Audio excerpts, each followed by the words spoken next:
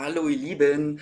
Also wir wollen uns jetzt noch mal ganz kurz ein zweites Video vom YouTube-Kanal Liebe zur Bibel anschauen, weil beim letzten Mal, wo ich auf ein Video oder das erste Mal auf ein Video davon reagiert habe, war ich anscheinend ein bisschen zu kritisch, wobei ich die Aussagen jetzt auch nicht zurücknehmen würde, bloß weil ich das wirklich differenziert mal betrachtet habe und das haben mir auch viele Leute gesagt, ja hey, ähm, der Typ, der war wirklich total klar und differenziert in seinen Aussagen und ähm, da ist nichts Schlechtes dran. Und die, ich weiß jetzt nicht, wie sie heißt hier von Liebe zu Bibel, sie ähm, fährt halt so ein bisschen ihren Film, ihren Standardfilm immer im Gespräch.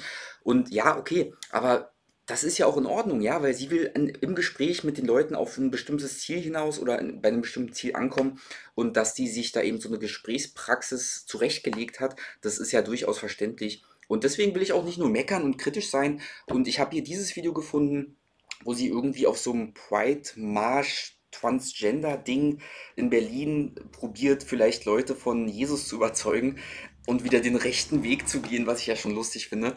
Ähm, und da wollen wir nochmal ganz kurz jetzt reingucken. Ja, genau, das machen wir auch direkt mal. Ja, ich hoffe, das klappt mit dem Ton, aber ich denke schon, weil manchmal war das so, ähm, dass das sich so gedoppelt hat irgendwie. Und ich habe echt krankhaft, weil Leute gesagt haben, ich soll mir diese langen Kopfhörer mit Kabel suchen. Ich habe die krankhaft hier zu Hause gesucht, ich habe sie nicht mehr gefunden, ich habe nur das Ding gefunden. Und das will ich jetzt aber hier nicht unbedingt für das Video aufsetzen. Zumal ich es auch probiert habe, wenn ich es reinstecke, dann hört ihr mich komischerweise nicht mehr. Also vielleicht müsste ich da irgendwas umstellen oder so, ich weiß es nicht. Aber das, wir sind ja nicht hier im Flugtower. Hallo, hier ist Airplane, Airplane 41. Äh, let's get ready to start. Ja, komm.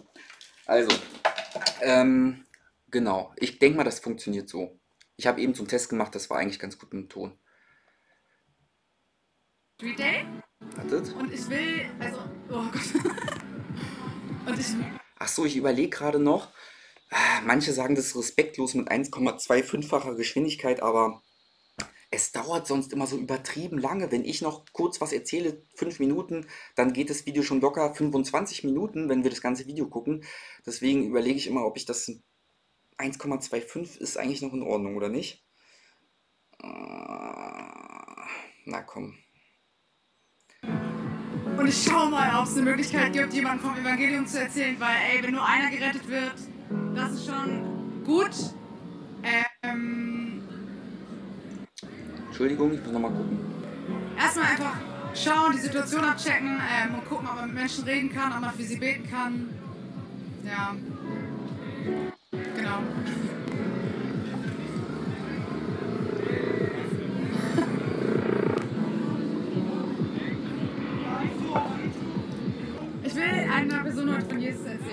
Es klappt. Wir werden, wir werden später sehen. Ja. Ketzer macht ein paar Videos nebenbei. Gucken wir mal. Ketzer macht ein paar Videos nebenbei. Auch nicht schlecht. Ah.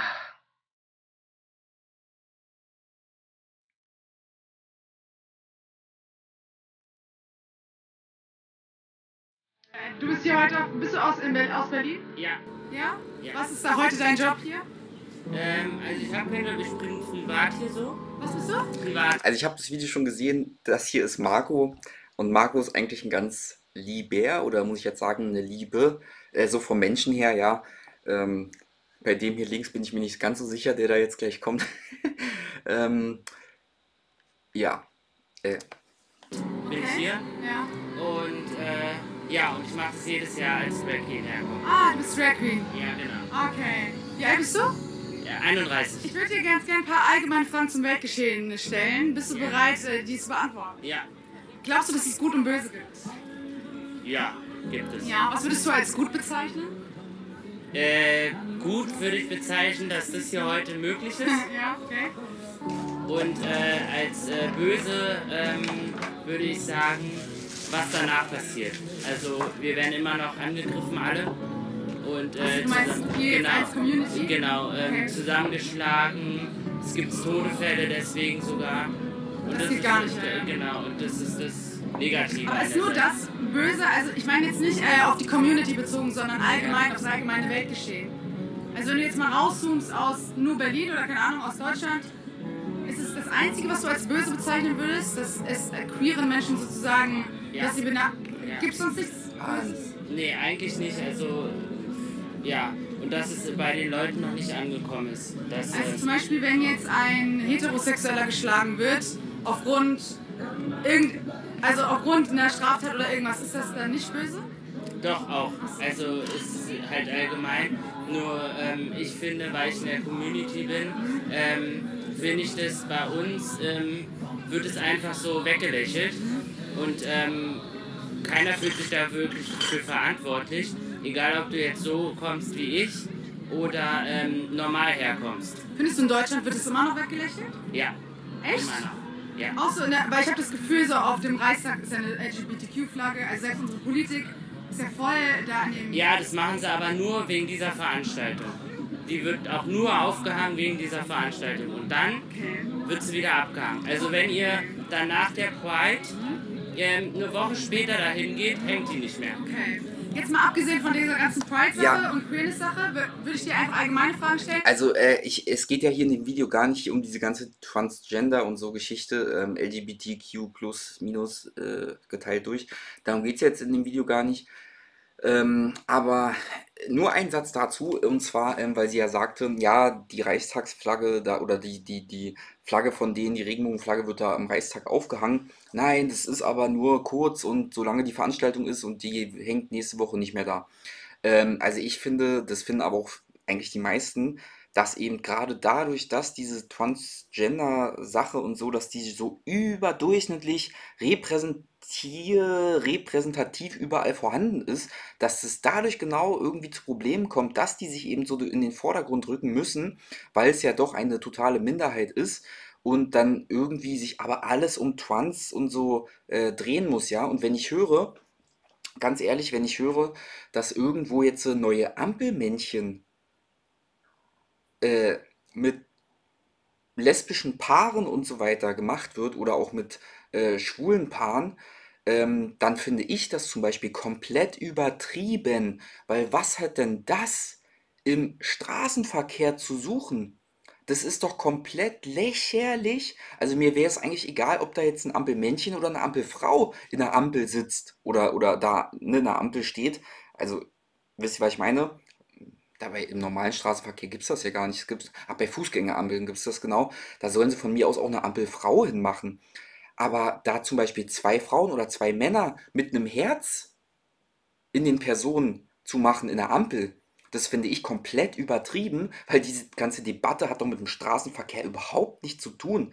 Ja, und ehrlich gesagt ist es ja dann genau andersrum. Das heißt, bloß weil ganz, ganz winzige Prozente von der Bevölkerung transgender oder wie auch immer äh, schwul oder lesbisch sind oder was auch immer, deswegen muss man doch nicht die Ampelbilder danach richten.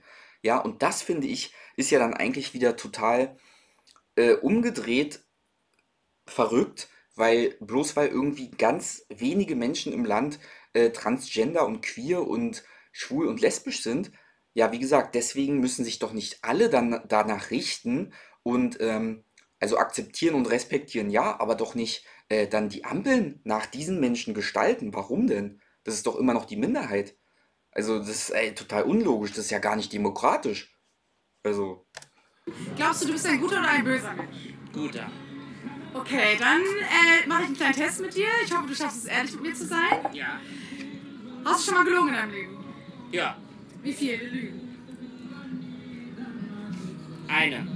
Eine Lüge? Du, jetzt hast du gelogen, oder? Nee. Du hast eine Lüge in deinem ganzen Leben gelogen und sonst Ja. hast du noch nie gelogen. Nö. Immer die Wahrheit gesagt. Auch wenn sie schmerzt. Und als Kind aber kannst du dich wahrscheinlich nicht mehr daran erinnern, oder? Weil da hast du bestimmt viel gelogen. Da als Kind weiß ich es nicht mehr. Schon mal was gestohlen in deinem Leben? Ja. Wie nennt man jemanden, der lügt? Ich weiß jetzt nicht, wie ich das. Wenn jemand jetzt viele Lügen erzählt oder gelogen hat, wie nennt man jemanden, der lügt? Also ich würde sagen, entweder ist er falsch oder ähm, er hat ein Problem und versucht es damit zu verstecken. Oder ein Lügner. Oder ein Lügner, ja. Wie nennt man jemanden, der gestohlen hat? Ein Dieb. Genau.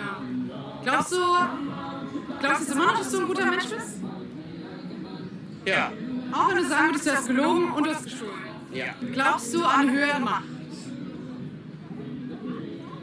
Ich glaube nicht dran, aber äh, manche Menschen denken, dass sie eine höhere Macht haben, aber haben sie ja leider nicht. Das heißt, wenn ich dir jetzt erzähle, ich habe eine höhere Macht in meinem Leben, die ich wie auch immer nenne, Gott, Vishnu oder Buddha, dann habe ich die gar nicht? Nee, das ist ja, das ist ja eine Sache, die, ähm, das ist ja eine Einstellung. Wenn du, wenn du sagst, okay, ich glaube an irgendwas, stellst du dich ja darauf ein. Sozusagen. Und ähm, ja. Sagst du, das ist dann keine Realität? Doch, schon, für die Menschen ja. Aber ich, ich habe keinen Glauben sozusagen. Und ähm, ich äh, glaube halt nicht dran. Ich sage jetzt nicht, dass es nicht existiert, aber ich glaube halt nicht dran. Was glaubst du, was nach dem Tod passiert? Nichts. Gar nichts? Gar nichts, nee. Ich werde vielleicht als, ähm, als was anderes wiedergeboren, ja. Das glaubst du? Das glaube ich. Ähm, okay, also du glaubst nicht an Gott. Ich weiß nicht warum, ich habe gerade im Kopf, ich werde als Tomate wiedergeboren. ja, Entschuldigung. Angenommen, angenommen, es gäbe einen Gott und er würde anhand der zehn Gebote richten, du sollst nicht lügen, du sollst nicht stehlen, hättest du den Himmel oder die Hölle verdient? Weil es schon mal getan hat, wäre es dann die Hölle. Würdest du so sagen? Ja. Ja, Ja, nur noch mal ganz kurz zur Erklärung. Also, das ist halt so ihr Gesprächsverlauf. Ne? Sie fragt halt die Leute, hast du schon mal gelogen, hast du schon mal gestohlen und so weiter. Und das ist eben der Punkt, dass es irgendwie alle Menschen schon mal gemacht haben. Ja, und deswegen sind wir sozusagen alle Sünder. Und was dann ihr sozusagen, ihr Trumpf im Ärmel ist, ist, dass sie dann halt sagt, ähm, ehrlich bin, dann habe ich die Warte, Gebote. ich mache mich mal ein bisschen größer wieder. Ähm, dass sie dann halt sagt, ja, kannst du dir vorstellen, dass Gott äh, uns so sehr liebt, dass er das Beste und Einzige gibt, was er hat, dass er sozusagen seinen Sohn gibt für deine Sünde sozusagen, damit er dich reinwaschen kann, damit du wieder nach Hause kommen kannst zu Gott. Und das ist halt so ihr Gesprächsverlauf und deswegen, das ist ja auch okay sozusagen, ja. Also sozusagen diese rhetorischen Fragen. Hast du schon mal diese Sünden begangen? Ja, hast du. Okay, dann bist du automatisch Sünder. Dann würdest du in die Hölle kommen. Aber nein, Jesus will dich ja retten, indem er seinen Sohn geopfert hat. Ne? Und das ist ja auch so ein, das ist dieser logische Gesprächsverlauf, das ist ja auch in Ordnung.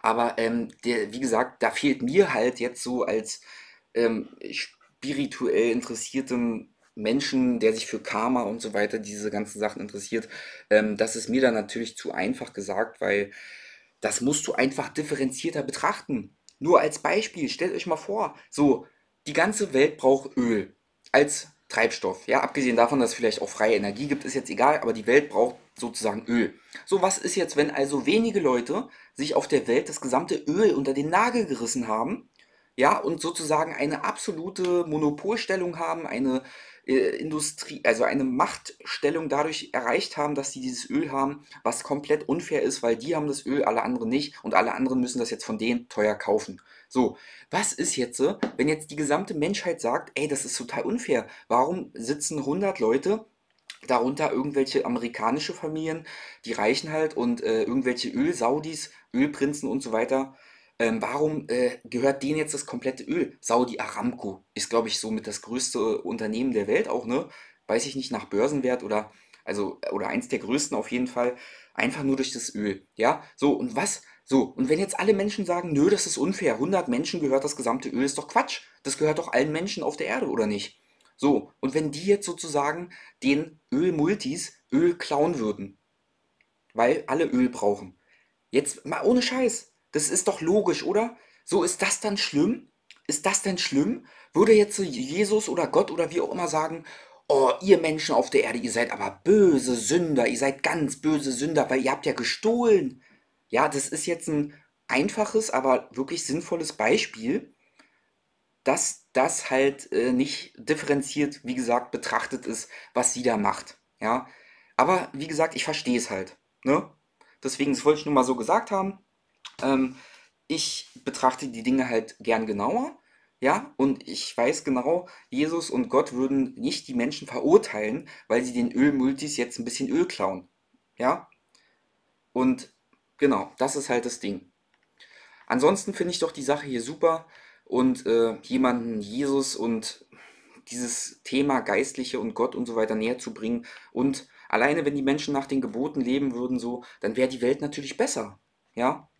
Aber wie gesagt, man kann nicht äh, wegen jeder kleinen Pupslüge oder wegen jeder kleinen Pupsünde kann man natürlich die Menschen nicht einfach komplett verurteilen und dafür kommt auch keiner in die Hölle. Ja, muss ich ganz klar so sagen. So funktioniert Karma nicht. Ähm, da kann man das Ganze viel genauer betrachten durch die Schöpfungsgesetze, die Gott eben gemacht hat für dieses materielle Universum. Und da spielen eben diese ganzen Gesetze, die Gesetze von Karma, Ausgleich, von Resonanz und Entwicklungsgesetz und so weiter und so fort. Diese Gesetze bestimmen das eben alles, wie das abläuft. Und da gibt es keine pauschale Einteilung.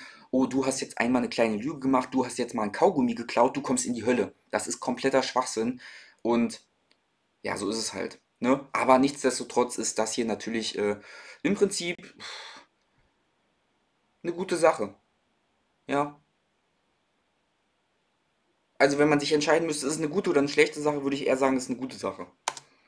Die Hölle verdienen sozusagen. Zumal nachher auch noch was Interessantes kommt. Am Ende des Videos kommt noch was Interessantes. So Thema Spiritualität und Magie und so weiter und äh, äh, ja, Bibel, Jesus und Geschichte, dass man eben nur in die Kirche geht und dass man, ja, was Traut keinem Promi gerade für ein Video gemacht hat, dass man eben die Menschen dadurch in diese, äh, in diese Religion sozusagen, äh, also dass man die damit auch festhalten will, die Menschen und ähm, gar nicht frei machen will. Da kommt nachher auch noch was Interessantes.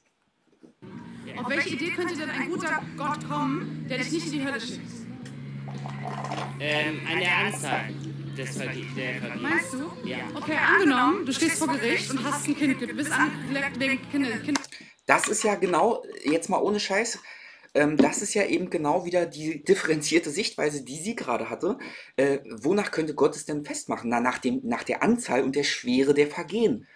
Ja, völlig logisch. Und das wird die jetzt rechts auch bestätigen. Denn was bringt sie jetzt für ein Beispiel?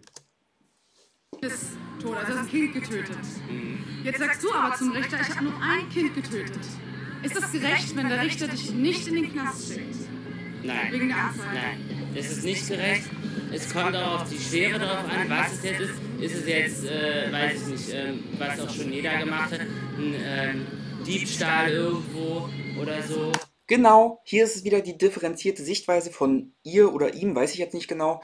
So wie in dem letzten Video, wo ich es auch gesagt habe, der Typ, der interviewt wurde, der hatte eine total. Mann, ich benutze so oft das Wort differenziert. Ich glaube, ich habe es jetzt schon sechsmal benutzt, aber mir fällt gerade kein anderes Wort. Ähm, äh, eine, was gibt es noch für differenziert? Eine ausgeglichene. Ach, weiß ich nicht. Ja, auf jeden Fall, ne, die Schwere der Tat ist entscheidend. Was? Und sie bringt halt das Beispiel, ein Kind töten. Ja, ein Kind töten ist natürlich ein schweres Vergehen. Ja, und das ist nicht zu vergleichen wie äh, dem Bauern eine Kartoffel klauen. Das ist einfach was anderes. Oder jemandem einen Vogel zeigen, ist vielleicht strafbar. Oder einen Mittelfinger zeigen, ist ja strafbar. Aber ist, da, dafür kommen wir jetzt in die Hölle? Ne? Und das ist ja sozusagen ihr, das sagt sie ja sozusagen. Ne? Doch, ja, das sagt sie. Das muss ich ja ehrlich sagen. Da, also, da kann ich, Entschuldigung, meine Aussagen nicht zurücknehmen, weil sie rechts hier, die Interviewerin, ich weiß nicht, wie sie heißt, ähm, sie sagt ja, Hast du schon mal irgendeine Sünde begangen? Hast du schon einmal gelogen? Dann bist du Sünder. Und dann kommst du nach Jesus und Bibel in die Hölle. Das ist für mich wirklich Schwachsinn, muss ich sagen. Schwachsinn. Im Supermarkt oder so. Das ist so, ja, soll man nicht machen, klar. Aber das ist so, als Kind ist man nicht, also nicht so klar, wie man es jetzt ist, als Erwachsener und macht halt Fehler. Aber, Ich meine, dass du als Erwachsener ein Kind getötet hast, sozusagen. Genau, das, das, das Kann ein Unfall gewesen sein, aber letztlich, wenn du vor Gericht stehst, wird der Richter dich ja schuldig sprechen, Ja. obwohl du andere gute Sachen getan hast. Ja, das ist ja auch schon wieder interessant. Muss ich mal ganz kurz einwerfen. Äh, selbst wenn du es durch einen Unfall oder unbewusst gemacht hast, ja. Also da muss ich auch ganz ehrlich sagen, ich war gestern, äh, ich, nicht gestern, ich war letztens ähm, bei einer Garage und habe da das Gar dieses Gar den Garagengriff genommen und ich habe überhaupt nicht gesehen, dass unter dem Griff so eine kleine Heuschrecke saß. Und ich habe die Heuschrecke wirklich zerquetscht. Und es tat mir total leid. Und ich dachte, scheiße. Aber wie hätte ich das denn sehen sollen? Entschuldigung, das passiert einfach. Du kannst nicht unter deinen Schuh gucken, ob da eine Ameise ist. Du kannst nicht hinter jeden Türgriff gucken, bevor du, also du kannst nicht da vorher gucken, ob da ein Insekt ist. Ist einfach Schwachsinn. Ja? Und weil sie gerade gesagt hat, wenn du aus Versehen etwas machst, ja, also ich finde, da muss man schon ein bisschen differenzieren auch, ne? Weil, äh, ja gut, wenn du aus Versehen ein Kind tötest, finde ich das nicht in Ordnung. Ähm, das äh, ist, finde ich trotzdem nicht in Ordnung. Ja, das müsste auch bestraft werden sozusagen. Aber das ist ja schon wieder auch so eine Sache, ne? Was ist denn, wenn du etwas aus Versehen machst? Also jetzt abgesehen davon, dass wenn man jetzt, ich weiß nicht, ob sie jetzt auch sagt, wenn man ein Tier oder ein Insekt tötet, ob man dann auch in die Hölle kommt. Ähm, auf jeden Fall, ja, wie gesagt, das, das ist ja eine Sache, die passiert aus Versehen und ja, dafür kommst du auf jeden Fall auch nicht in die Hölle. Ja, dann ist Und genauso glaube ich, wär, wäre es mit Gott auch, wenn er existieren würde, dass er uns schuldig sprechen muss, weil wir das Gesetz gebrochen haben. Sprich, weil wir gelogen haben, weil wir gestohlen haben. Kann er gar nicht anders, als uns in die sozusagen Hölle, woran du wahrscheinlich nicht glaubst, schicken müsste. ja. Nee. Jetzt gibt es aber eine Lösung für das Problem. Weil ich habe gelogen und ich habe sozusagen nicht den Himmel verdient, weil ich das Gesetz gebrochen habe. Wie könnte die Lösung heißen? Das wäre auch ein komplett unfaires Spiel. Ich finde, das wäre ein komplett sinnloses und unfaires Spiel. Ja, okay, Entschuldigung, ich wollte eigentlich in diesem Video mal für Liebe zur Bibel sprechen, aber ich muss sagen, es ist vollkommen sinnlos und falsch, was hier vermittelt wird, ähm, weil sie sagt das ja wirklich. Sie sagt ja wirklich, äh, Gott muss dich verurteilen und richten und in die Hölle schicken, weil du mal gelogen hast. Das ist völlig unsinnig. Und das widerspricht wirklich allem. Und wir sind hier, um Erfahrung zu machen. Ja, und Gott hat extra dieses Spielfeld erschaffen von Gut und Böse, von freiem Willen, dass du die scheiß Erfahrungen machen kannst, damit du aus den scheiß Erfahrungen lernst. Ja, damit du Fehler machst, du ernährst dich falsch und so weiter, dann wirst du krank. Du machst finanzielle Sachen falsch und dann hast du finanziell 50.000 verloren, scheiße, also lernst du draus. Du machst Fehler mit Menschen, Vertrauensbruch, was weiß ich nicht alles und hinterher verträgt man sich im Idealfall wieder und man lernt draus. Und das ist die Entwicklung von der Seele auf der Erde, vom Menschen. Ja, und das hier, was sie sagt, das ist ja wie ein Computerspiel, das ist ja wie, äh, wie heißt denn das, russisch Roulette, Roulette, äh, das ist ja wie, äh, wenn du einmal eine Lüge machst, einmal ein Kaugummi klaust, dann hast du verloren, dann gehst du in die Hölle. Das ist vollkommen schwachsinnig. Vollkommen schwachsinnig. Wirklich. Die mir den Weg zu Gott wieder freiräumt und dieses Problem sozusagen auflöst, was ich mit Gott habe. Weil ich habe das Gesetz gebrochen, ich bin nicht rein, ich bin nicht heilig vor Gott. Was macht Gott in seiner Gnade in diesem Moment? Es ist ja sogar so, dass es gar nicht anders geht. Also, das ist ja, das ist, tut mir leid, also ich muss es tatsächlich in diesem Video wieder so sagen. Das ist ja diese spirituelle Sichtweise, die ich habe. Äh, wenn man sich mit den ganzen Sachen wirklich beschäftigt, was ich sehr lange habe, dann, ja, dann geht das einfach vier Milliarden mal tiefer als das, was sie hier gerade macht. Weil ich meine, genau so funktioniert das ganze Spiel. Das sind die Spielregeln. Ja, und es gibt diese Erde und das materielle Universum hier nur, weil der Mensch ja eben aus der Einheit raus ist. Es gibt diese spirituelle Welt oder dieses Nirvana oder dieses Gottesreich, da wo die Wesen sind. Und die Wesen gehen raus aus dieser Einheit in die Dualität. Aus der Einheit in die Dualität. Und da gibt es dann zwei. Da gibt es nicht eins, da gibt es zwei. Gut und böse. Und wir sollen hin und her pendeln und immer diese Erfahrung, diese Erfahrung machen und uns letztendlich dann für das Richtige und das Gute entscheiden, nachdem wir die ganze Scheiße durchgemacht haben. Das heißt, was sie hier sagt, ist vollkommen unsinnig, weil wir Menschen kommen nicht auf die Erde, um ein perfektes Leben zu leben. Und es tut mir leid, genau das sagt sie. Wir kommen nicht auf die Erde, um ein perfektes Leben zu leben, ohne Lüge, ohne Sünde, ohne alles. Dazu sind wir hier überhaupt nicht auf der Erde. Das ist gar nicht der Sinn von der Erde. Das heißt, sie äh, hat wirklich das komplett alles falsch. Also in meinen Augen ist das Positive an dieser Geschichte, sie will Menschen zu Jesus und zu Gott führen, super. Aber das geht nur über Eigenverantwortung und nicht, ja, wir sind sowieso Sünder, deswegen kommen wir alle in die Hölle und Jesus ist jetzt unser Retter und wir anerkennen jetzt Jesus und wir lieben den und ja, super, jetzt ist alles toll und wir kommen in den Himmel. Vollkommen unsinnig. Das, also, vielleicht, dass man das durch gute Taten wieder aufwiegen könnte. Das Also, wäre wie so eine Waage mäßig? genau. Ja, wobei das mit dem Richter hatten wir schon. Wenn der, wenn der Typ jetzt sagt, okay, ich habe ein Kind getötet, aber ich habe noch, keine Ahnung, 100.000 Euro an die Tafel oder so gespendet, dann wird der Richter ja nicht sagen, ja, okay, dann bist du halt nicht mehr verurteilt. Sondern er muss ihn ja trotzdem aufgrund seiner Tat verurteilen. Ja. Oder du bereust es. Bereuen, genau. Bereuen. Oder? Also du bereust es und ähm, Oder jemand anders zahlt deine Schuld, oder? ja. Wenn du den Tod verdient hättest, dann müsste mit Leben bezahlt werden, oder? Ja. Welches Leben, meinst du, Ist ist eigentlich auch schwachsinnig. Ey, es tut mir voll leid, ne? Aber sie hat ja gerade gesagt, wenn du sozusagen jemanden getötet hast und du willst deine Schuld bezahlen, dann geht das auch, indem jemand anderes dein oder Schuld, diese Schuld, dass du ein Leben genommen hast, muss ja mit einem Leben bezahlt werden. So, und dass diese Schuld dann von mit einem anderen Leben, dass deine Schuld mit einem Leben von einem anderen bezahlt wird, ist auch schwachsinnig. Das habe ich gerade ohne Scheiß jetzt mal in diesem kleinen Metatron-Buch gelesen, wo es um Karma ging. 111 Fragen über Karma von Metatron geschändelt sozusagen. Erzengel Metatron. Und äh, der hat es so toll aufgeschlüsselt. Und der hat gesagt, Karma ist von jedem individuell und kein anderer kann dein Karma irgendwie auflösen. Kein anderer bei Astro TV kann dir dein Karma wegnehmen. Äh, auflösen und auch nicht jemand anderes. Ein anderer Mensch kann auch nicht dein Karma übernehmen. Du gibst ihm 20 Euro und dafür übernimmt er deine Karma-Lasten. Völlig schwachsinnig, ja?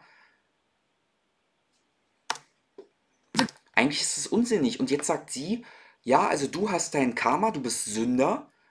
Und jetzt ist aber Jesus für dich am Kreuz gestorben und dadurch bist du wieder frei. Du musst es nur akzeptieren und anerkennen. Macht eigentlich gar keinen Sinn, oder? dann, dann muss man das ja gar nicht richtig bereuen, sozusagen. Gott geben können, dass du leben kannst. Du und ich, wir verdienen den Tod. Was macht Gott in seiner Gnade? Seinen Sohn. Kennst du den Namen? Nee, ich habe damit gar nichts zu tun. Du kennst es trotzdem, auch wenn du damit nichts zu tun hast. Ich bin mir sicher, dass du in der Schule schon davon gehört hast. Hast du noch nie den Namen Jesus gehört? Na doch, ja. Genau, und Gott schickt in seiner Gnade seinen Sohn Jesus Christus, der ein perfektes Leben lebt, der nie gestohlen hat, nie gelogen hat, damit du und ich zu ihm kommen können. Und nicht mehr unter dieser Strafe, dieses, ja, unter Gottes Zorn leben müssen sozusagen. Würdest, was hindert dich daran, an diese Botschaft sozusagen zu glauben?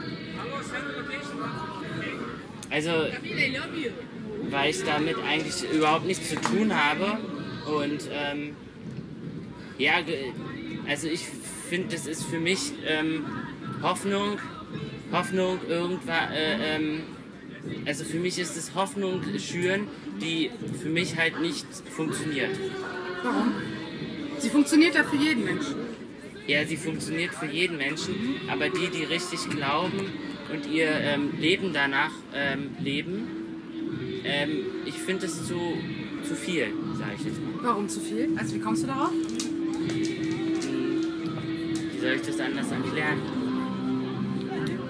Ähm, ich will, am gewissen Punkt sollte man auch eine Grenze setzen. So, ähm, ja. Okay, nun ist das Problem, egal was hier jeder glaubt von uns um, um uns herum, ne? Es muss ja nachher Wahrheit geben oder absolute Wahrheit. Und ich glaube, dass jeder hier nachher vor Gott stehen wird.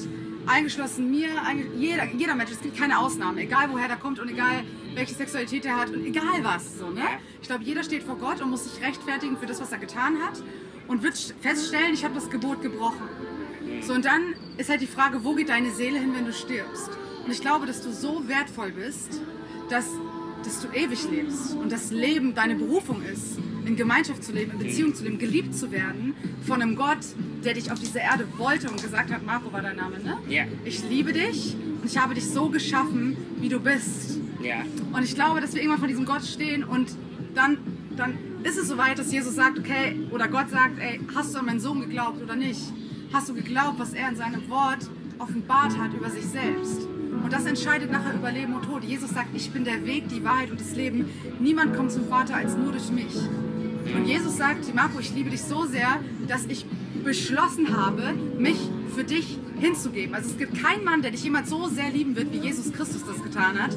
Er ist ans Kreuz gegangen und ist für deine Schuld am Kreuz von Golgatha gestorben. Also wie gesagt, ich will jetzt nicht noch lange dazwischen quatschen, aber ich wollte eigentlich ein positives Video machen hier, aber äh, es tut mir leid, ich kann mit dieser Sache nicht mitgehen. Ich kann damit absolut nicht mitgehen, dass Jesus für deine Sünden am Kreuz gestorben ist.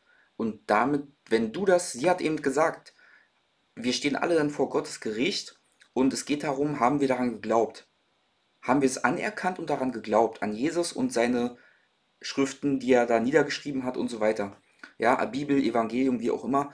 Und ich kann da absolut nicht mitgehen. Das ist überhaupt nicht der Sinn des Lebens. So funktioniert das ganze Spiel überhaupt nicht. Es ist so.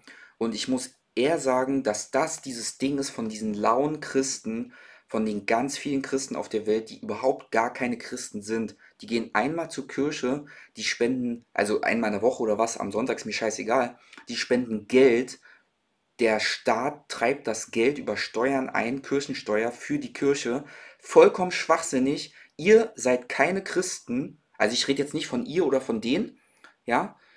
Die äh, finde ich sogar ganz gut. Ich, hier kommt gleich noch was, was ich cool finde. Ähm, und ich verstehe auch, was die vorhaben, aber ich muss sagen, wie gesagt, das, das spricht für mich ganz viel auch für diese lauen Christen auf der ganzen Welt, die in die Kirche gehen, die äh, die Strukturen Satans mit Geld unterstützen, ja, und, und das ist für mich vollkommen unsinnig und da kann ich auch nicht mitgehen, was hier erzählt wird, sozusagen.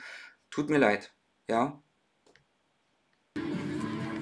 So, und ich glaube, ich, ich, ich möchte das einfach nur erzählen, weil ich glaube, da gibt es jemanden, also egal, wenn ich, was dir in deiner Kinder passiert ist oder egal, welche, ob deine Eltern dich respektiert haben, geliebt haben. Damit, was sie jetzt sagt, kann ich wiederum mitgehen. Haben Familie, Freunde. Ich glaube, da gibt es einen, der sagt, ich liebe dich so sehr, dass ich für deine Schuld ans Kreuz gehe. Und Jesus sagt, komm zu mir, kehrt um, tut Buße. Das heißt, wir drehen unserem Lebensstil, unsere, ja, all, all dem, was wir nachgefolgt sind, unser Leben lang, dem Rücken zu und folgen Jesus Christus nach, weil er dein Leben will, weil er dich, weil er dich ja, weil er dich lieben will, weil er dich befreien will, weil er dir das Weg zum, den Weg zum Leben zeigen will. Schön gesagt. Schön gesagt? Ja. Ja, wie gesagt, also der, der Sinn von Jesus ist ja nicht, dir einfach deine Schuld wegzunehmen, sondern der Jesus-Weg ist ja, dass du selbst zu Jesus wirst. Und das hier ist jetzt, das ist hier nicht äh, Gotteslästerei oder wie das heißt, dass man, äh, das ist vor allem nicht dieses atheistisch-materialistische, dass wir selbst die Götter sind und die Menschen die Kronen der Schöpfung, es ist zwar eigentlich so, ja, die Menschen wurden nach dem Ebenbilde Gottes äh, geschaffen und es ist eigentlich schon, dass wir die Krone der Schöpfung sind, aber nicht wirklich die Menschen und schon gar nicht diese übermütigen, egoistischen Menschen, die dann eben sagen, sie sind die Krone der Schöpfung. Ähm, was wollte ich eigentlich gerade sagen? Äh, bist du, wärst du theoretisch, angenommen es gäbe Jesus Christus, ne?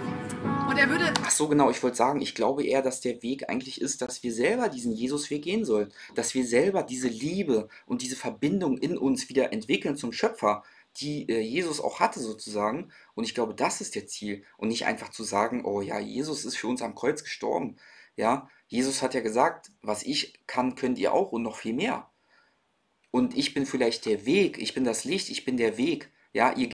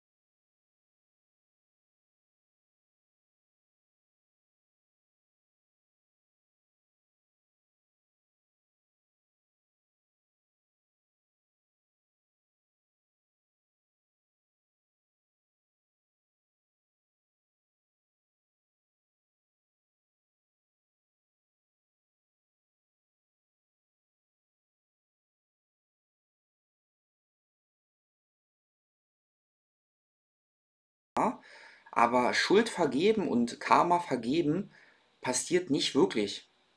Ja, Karma kann sich auflösen, wenn du selbst erkennst und wenn du bereust, dann kann sich Karma auflösen, aber ansonsten ist Karma eigentlich da. Ja, das kann sich wirklich auflösen durch Selbsterkenntnis und durch Reue und so weiter. Aber ansonsten ist Karma natürlich auch da, damit du die Früchte deiner Taten erlebst. Das ist das Prinzip von Karma. Ne? Und deswegen zu sagen, danke Jesus, dass du jedem seine Schuld vergibst, hm, ja, mit Reue und dem richtigen Weg in Zukunft ja, dann wird das Karma in der Vergangenheit aufgelöst, wenn du in Zukunft den richtigen Weg gehst. Aber ansonsten, wie gesagt, muss man ja auch irgendwie erfahren, was man getan hat. Ne? Wenn du dich nur von Chips und Cola ernährst, dann erfährst du die Konsequenzen und wirst irgendwann krank. Ne? Jesus, und ich bete, schenk Umkehr, schenk Buße, Jesus, Marco zu dir, erlöse ihn, Jesus. Das wäre so, als wenn dann Bill Gates kommen würde und sagen würde, hier, du musst nur einmal am Tag diese Spritze nehmen und du kannst dich ansonsten ernähren, wie du willst. Du kannst nur Mist essen, Chips und Burger und Cola und McDonald's und du musst nur einmal am Tag diese Spritze nehmen und dann wirst du trotzdem gesund sein. Das wäre dann so das Beispiel, ähm, ja, dass Jesus dir nicht deine Schuld wegnimmt, genauso wie die Spritze dich nicht gesund machen kann von diesem ganzen Scheiß, den du isst. Und dann überflut ihn einfach mit, deiner, mit deinem Frieden, begegne ihm in Visionen, in Träumen und seinem Herzen, Jesus. Ich danke dir für seine Seele, dass er wertvoll und wunderbar geliebt ist, Jesus. Amen. Und Jesus liebt dich. Fand ich trotzdem ganz schön, was sie gesagt hat. Und ich glaube, er ruft dir heute zu, kehr um und folge mir nach. Egal wo du herkommst, egal was du gemacht hast, alle sind gleichermaßen auf die Gnade Gottes angewiesen. Klingt das dumm? Nö. Klingt nicht dumm. Nö. Klingt nicht dumm. Ey, vielleicht liest du die Bibel. Darf ich dir. Ah, nee, du hast keine Tasche mit, ne? Nee. Schade. Wenn ich dir jetzt ein Buch mitgebe, wäre auch schlecht. Ne? Ja, ja. Ja. Frag wirklich nach Wahrheit. Suche nach Wahrheit und Wahrheit wird sich offenbaren. Wahrheit wird sich finden lassen. Jesus lebt und er will dir begegnen. Mach das Experiment zu Hause und sag, Jesus, wenn es dich gibt, dann offenbar dich mir und änder mich. Und schau, was passiert. Ja, Ja? also. Du bist ganz lieb. War richtig schön mit dir zu sprechen. Lass mich mal drücken. Ich will deine Frisur nicht kaputt machen. Dann noch äh, schönen Walk dir. Ja, War danke. schön. Ciao. Ciao. Ciao.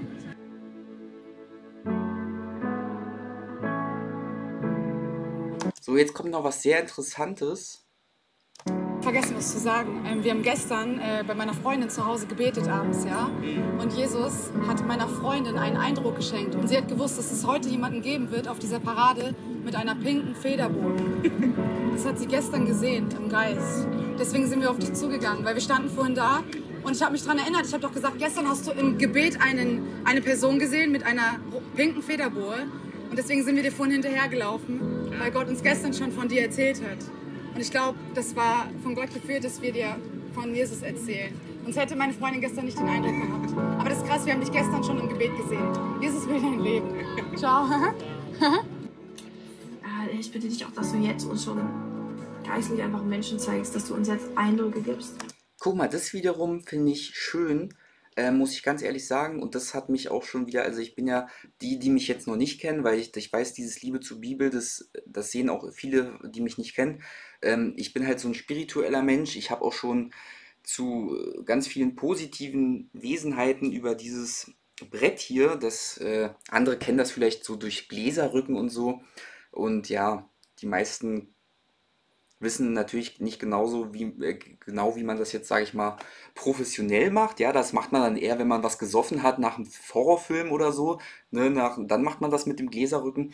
Aber das kann man natürlich auch richtig machen weil es funktioniert ja komischerweise ja und da sollte man sich mal fragen warum. Und äh, das kann man eben auch so machen dass man da nicht nur blöde Erfahrungen macht. Und ja, guckt euch das mal im Video an, das finde ich schon wieder ganz schön, dass die da auch ja schön abends sich hinsetzen, so eine Art Meditation machen, so eine spirituelle Atmosphäre erzeugen und jetzt sogar Eingebung haben. Ja, wenn man denen jetzt Glauben schenken darf, was ich eigentlich tue, warum sollten die lügen? Und die hatten am Abend zuvor, sie sagt das hier wirklich, hört mal zu. Von Menschen, die wir vor Augen haben. Also sie fragt jetzt nach Eingebung, was sie morgen für Menschen ansprechen soll. Gott möge ihnen mal Eingebung geben. Dass du uns jetzt schon wirklich zeigst, dass du uns Gesichter zeigst, Merkmale zeigst, woran wir sie ihn erkennen können. Ja, ich sehe einfach so pinke Federboa.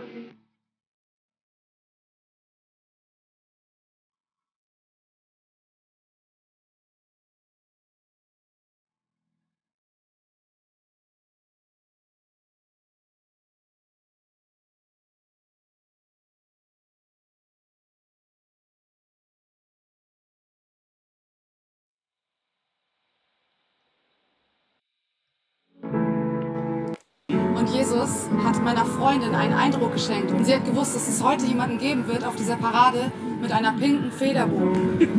Das hat sie gestern gesehen im Geist. Deswegen sind wir auf dich zugegangen, weil wir standen vorhin da. Und ich habe mich daran erinnert, ich habe doch gesagt, gestern hast du im Gebet einen, eine Person gesehen mit einer pinken Federbohre. Und deswegen sind wir dir vorhin hinterhergelaufen, weil Gott uns gestern schon von dir erzählt hat. Und ich glaube, das war von Gott geführt, dass wir dir. Das finde ich wiederum wirklich schön, muss ich sagen. Und das ist auch authentisch. Und weil ich meine, dieser Marco, ich weiß jetzt nicht, ob er oder sie, dieser Marco war ja auch offen und war auch äh, gar nicht so doof. Ja, also der hat ja die Sachen ganz gut betrachtet. Ne? Und daran sieht man auch übrigens, man muss überhaupt kein Christ sein, man muss nicht mal die Bibel gelesen haben, man muss nicht Gott. Wenn man in seiner Seelenentwicklung weit ist, dann erfährt man irgendwann von Gott und so weiter. Aber äh, man sieht daran, man kann auch ein guter Mensch sein, ohne dass man bis jetzt von Jesus, von äh, der Bibel und von Gott gehört hat. Da kann man trotzdem guter Mensch sein. Ne? Ach so, ja, das war's äh, damit. Und, ähm, was war das? Geschichten sein Gesicht auf krasse Weise wandelt. Im Alten Testament ist Gott böse und rachsüchtig. Er vernichtet die Menschen mit einer Flut und droht Konsequenzen an, wenn Menschen sich nicht nach seinen Regeln verhalten. Im Neuen Testament dagegen sagt Jesus, der sich als Sohn Gottes bezeichnet, dass Gott gütig und immer verzeihend ist. Jesus Lehre besagt, dass Gott keinen Unterschied mache zwischen Arm und Reich, Straftäter oder Opfer. Er übe Vergebung und liebe alle seine Kinder. Aha, deswegen habe ich es rausgesucht oder hier nochmal kurz abspielen wollen. Ja, interessant, oder? Der eine Gott, der alle verurteilt und sofort in die Hölle stecken will, und der andere Gott und Jesus nach dem Neuen Testament, die gütig sind und Straftäter. Und ja, so ist es nämlich auch. Genau so ist es. Denn wieder die logische spirituelle Erklärung dahinter ist, also spirituelle Erklärung hört sich jetzt blöd an, aber die logische Erklärung ist wirklich, Gott hat extra dieses Spiel für die Seelen erschaffen hier mit der Erde und so weiter. Und egal ob Straftäter oder nicht, alle sind göttliche Menschen mit einem göttlichen Kern, mit einem göttlichen Herzen. Es ist nur eben der Punkt, wie tief ist noch deine Verbindung mit diesem Herzen, mit diesem göttlichen Kern. Weil äh, wenn du natürlich ein blöder Mörder bist, ein böser Mörder, dann hast du natürlich nicht so eine großartige Verbindung, ja, zu deinem göttlichen Kern. Ne, ist ja klar. Dann würdest du sowas nicht machen, weil dann würdest du auf dein Gewissen hören. Und das Gewissen, was ist eigentlich das Gewissen? Was ist eigentlich das Gewissen? Denk mal drüber nach. Warum haben Babys schon alleine so ein Instinkt, so einen Sinn, dass die nicht einfach einem Hühnchen den Kopf umdrehen oder einem Kanickel? Ja, warum machen Kinder sowas nicht? Na, weil die das Gute, das Edle und das Schöne in sich haben, das Göttliche. Das haben wir in uns. Wir haben ein Gewissen. Der Mensch ist mit Verstand und Gewissen begabt in diese Welt gestellt worden, ne, um Erfahrung zu machen. Und je nachdem, wie weit man eben von seinem Gewissen und von seinem Verstand und von seinem inneren Kern entfernt ist, beziehungsweise davon Gebrauch macht, umso, ja, äh, ja, umso, weiß ich nicht, weiter bist du eben entweder nah dran an Gott oder eben nicht so nah dran und machst dann eben Unsinn oder Sinnvolles. Aber grundsätzlich wirst du geliebt, egal ob Straftäter oder nicht. Genau über diesen Umstand stolperte auch Elon Musk bei seiner Suche nach der Wahrheit über das Wesen dieser Welt. Zitat: Gott hat seine Meinung vom Alten Testament zum Neuen Testament offenbar geändert. Ich denke, wow, das war ziemlich rachsüchtig im Alten Testament. Auge um Auge macht alle blind. Vergebung, weißt du, ist wichtig. Zitat Ende. Für alle von euch, die nicht ganz so bibelfest sind, im Alten Testament findet sich im Buch Exodus, Kapitel 21. Gut, äh, hier geht es jetzt auch gar nicht um Elon Musk, ja. Ich weiß auch nicht, ich habe mal ein Video, äh, Foto von dem gesehen, Foto am Strand oder so. Der war so weiß, also der war so weiß, das geht gar nicht. Der war so weiß, so, ich habe noch nie so einen weißen Menschen gesehen. Sieht äh, so ein bisschen auch komisch aus wie bei Mark Zuckerberg von Facebook. Die sehen beide irgendwie, der Elon Musk da mit seinem weißen Oberkörper nackig, ja, der sah irgendwie auch ganz komisch aus. Also Mark Zuckerberg und Elon Musk, die sahen da beide aus wie äh, Aliens irgendwie, ne, wie Reptil, äh, wie Roboter oder was weiß ich, ja. Äh, aber das ist jetzt gar nicht Thema vom Video, ne. Aber diesen äh, Abschnitt hier fand ich auf jeden Fall noch interessant. So, ihr Lieben, das Video ist bestimmt schon total lang, 44 Minuten. Ach du heiliger Strohsack, ich wollte es heute noch hochladen. Okay, danke fürs Zuschauen. Ähm, bleibt gerne, bleibt offen, bleibt spirituell. Ähm, wenn euch das Video gefallen hat, dann lasst mir gerne ein Like, ein Abo oder einen Kommentar da. Und da würde ich mich freuen, dass ihr mich unterstützt. Und dann sehen wir uns gerne im nächsten Video wieder, wenn wir wieder nach, ah, jetzt kriege ich es überhaupt noch zusammen, schon lange nicht mehr gesagt, wenn wir wieder nach Liebe, Wahrheit und Licht streben.